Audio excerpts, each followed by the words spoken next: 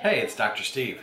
Just coming to you in phase one of the quarantine removal, which is great.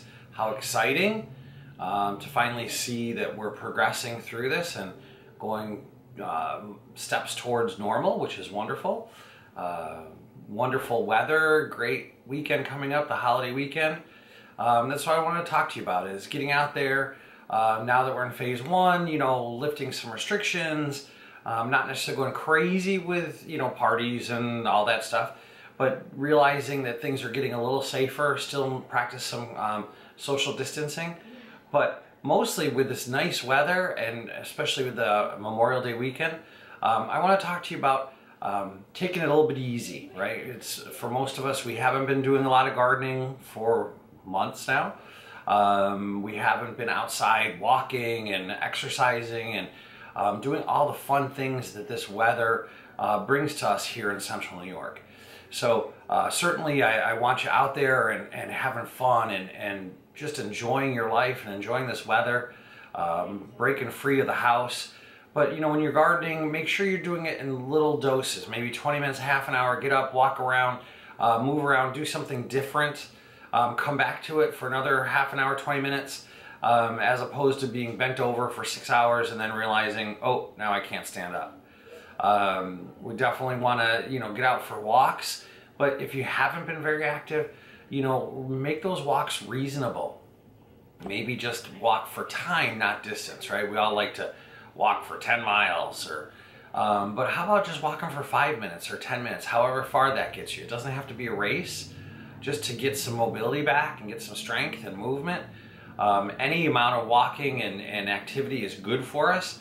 Uh, good for us physically, cardiovascularly, good for us um, mentally, just to get out there and, and enjoy the weather and, and maybe uh, burn off a little bit of that stress. Um, when we get out and hopefully people will be enjoying their family and friends for Memorial Day barbecues and stuff, remember to try to, you know, limit the numbers or or uh, keep a little distance from people that you haven't been exposed to very often or very much. But definitely enjoy yourself and have some fun.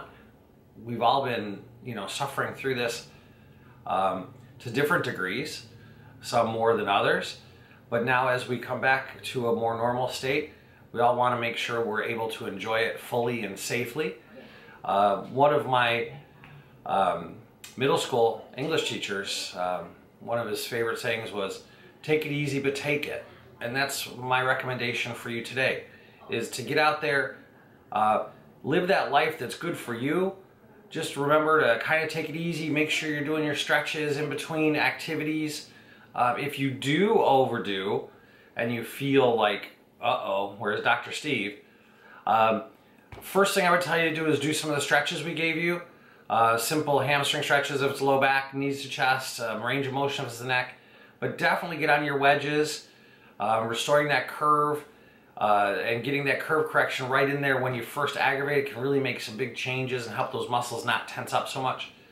Um, certainly use ice if you do have some kind of strain, a sprain, injury, uh, because within the, the first 24 hours there's going to be a huge inflammatory process. So we want to modify that with ice. Um, and then after that, we can talk about adding in some heat. Uh, certainly get you in here as quickly as you can and check it out and see what you did to yourself. Um, so we can get that straightened out rather than wait in 10 days, hope it was going to go away, and basically all it does is lock up even more.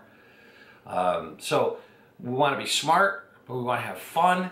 We want to enjoy this weather. Um, you know, we're here uh, as the as we go through the phases. Whenever you're comfortable, I mean, I obviously a bunch of you are already coming in and have been coming in and consistently coming in, um, not only for your musculoskeletal injuries and problems, but more importantly for your wellness and, and for your immune system to balance that out. And that's so important.